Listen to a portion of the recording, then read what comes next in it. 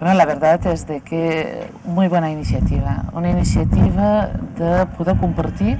compartir experiències, compartir coneixements amb altres entitats que tenen aquest mateix objectiu, un objectiu difícil,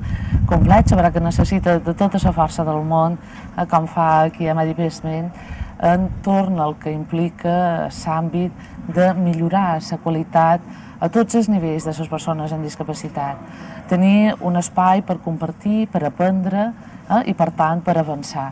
És una iniciativa eh, molt interessant i esperam de que verdaderament des d'aquestes propostes que se treballen avui aquí, evidentment, tots les administracions amb ells puguem anar avançant a millorar, en aquest cas, tot el que és, jo crec que un objectiu clau, que és l'accés en el treball. I per tant, en aquest sentit, com a centre, eh, com a centre d'ocupació que ja té tot el reconeixement de meditasment, però sobretot aquesta feina persona a persona que ajuda, que permet a garantir un dret, un dret que tenim tots, sense exclusions, que dret a una oportunitat de feina.